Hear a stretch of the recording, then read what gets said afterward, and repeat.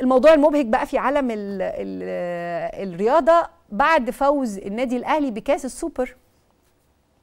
شفنا فرح في شوارع مصر القديمة. الفرح ده كان السبب فيه هو كابتن كهربا.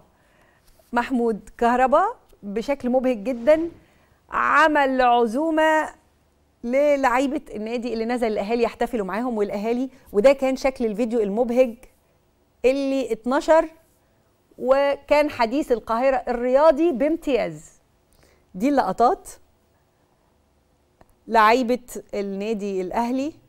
بصراحة واضح إن اندفع فلوس كتير في هذه العزومة. يعني يعني يعني خلينا نقول إن يعني زادوا كام كيلو عايزين نحطهم على الميزان بعد هذا الأكل اللي واضح انه ما كانش رياضي. على رأي الأستاذ محمد هاني بيقول أكل غير رياضي خالص لكن حالة الفرحة اللي كانت موجودة هي حالة مبهجة بصراحة يعني. وإحنا فرحانين بكأس السوبر.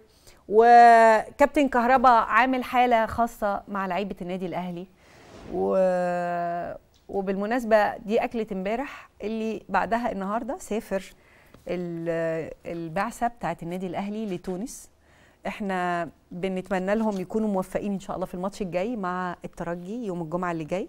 أداء مميز مستنيين منكم كتير. بعد الفرحة دي هايل لكن أنا لفت نظري في الفيديو بس ودي رسالتي لكابتن كهربا أنت بتقول ما بقاش فاضل معايا غير 2 جنيه يا دوب يكفوني بكرة اللي هو النهارده اللي سافرت فيه. العزومة دي اتكلفت كام بالظبط من الأرقام اللي اتقالت؟ ها يعني 15 مليون عرفنا قيمة العقد. 15 مليون الا 2 جنيه؟ بالهنا والشفا. طيب.